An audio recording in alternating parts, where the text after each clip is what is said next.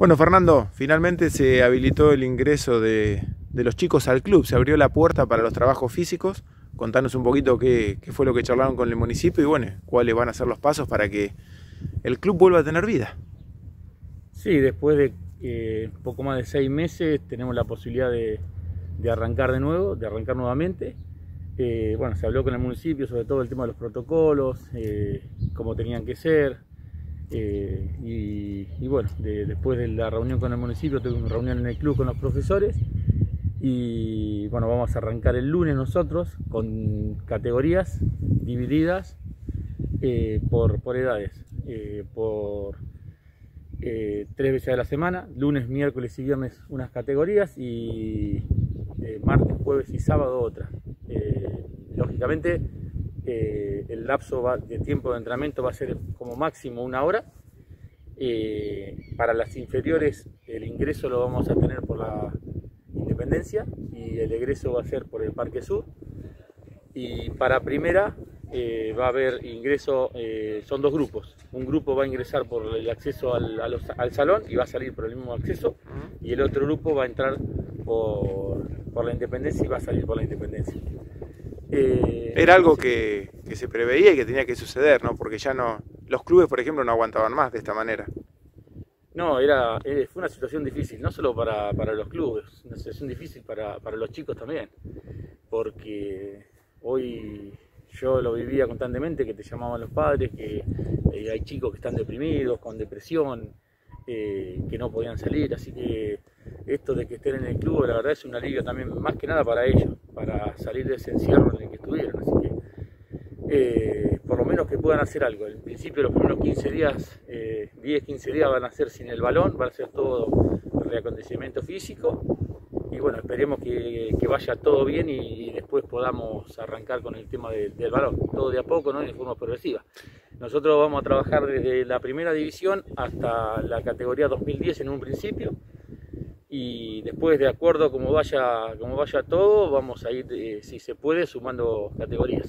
Con respecto a, los trabajos con pelota, en este caso que es un club eh, muy futbolero, eh, ¿está pensado para trabajar en grupos? ¿Le propusieron algo al gobierno con respecto a, a, los protocolos para meter la pelota dentro de la cancha, para llamarlo de alguna manera? Sí, nos pidieron un lapso de 10-15 días para ver cómo va todo, si va todo bien la idea es, tiramos algunas pautas, algunas ideas, de, por ejemplo, una pelota por chico, que es lo, ideal, que el chico que tenga pelota en su casa, que la pueda traer, que venga ya con, el balón. Lógicamente nosotros ahora vamos a arrancar con protocolo, cada chico va a tener que salir su barbijo, el alcohol en gel, la botellita de agua, eh, van a ingresar, van a terminar el entrenamiento y automáticamente van a, se van a tener que ir, no va a haber ninguna previa, ni antes ni después a ver, se van a tener que acostumbrar a esta nueva normativa, que no sé cuánto, cuánto va a durar, pero va a durar mientras dure, mientras esté el virus con nosotros. Eh, me olvidé de decir el tema de los grupos, son grupos de no más de 10 mm. y trabajan en un sector de, 5 metros cada, cada chico. Bien. Así que, y con un profesor a cargo. Bueno, siempre el mismo profesor con el mismo grupo. Bien, y eso es otro dato también de, importante porque bueno, muchos profes pueden volver a trabajar. Seguro, seguro, sí, sí.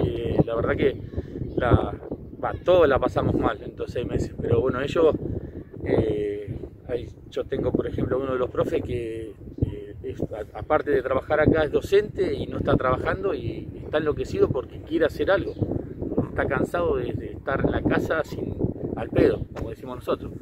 Así que para ellos también es, algo, algo lindo porque puede empezar a, a moverse, a trabajar en lo que les gusta, y esperemos que, vaya todo bien, que salga todo bien, eh, así podemos seguir avanzando con estos protocolos.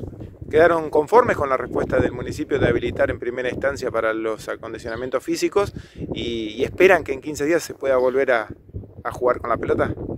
Sí, a jugar con la pelota no va a ser más difícil, pero, pero sí esperemos que en 10, 15 días podamos puedan los chicos tener contacto con el, con el balón, que es lo más importante, ¿no? Mm. Eh, lógicamente va a ser individual todo, hasta, hasta tanto vaya eh, bajando, vayan bajando los casos, se vaya normalizando, entre comillas, todo esto, y, podamos, no sé, de acá por ahí mes y medio tal vez podamos hacer trabajos en, en grupo, pero bueno, es todo, todo progresivo de a poco y día a día.